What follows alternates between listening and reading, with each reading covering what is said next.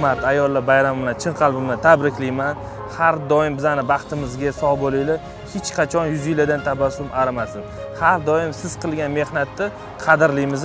Bayram bilan tabriklayman. Sog' bo'ling.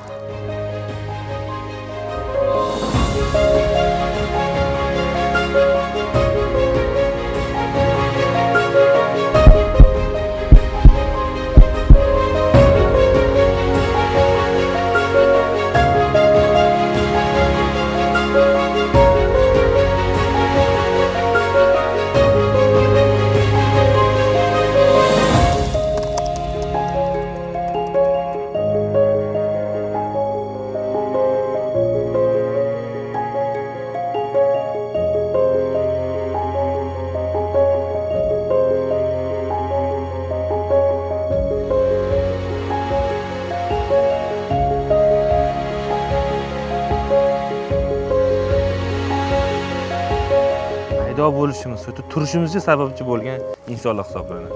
O'shaning uchun sizlarni man sakkizinchi mart bayrami ayollar bayrami bilan chin qalbimdan tabriklayman boringlarga shukur. Sizlar bizani eng qadrli insonimiz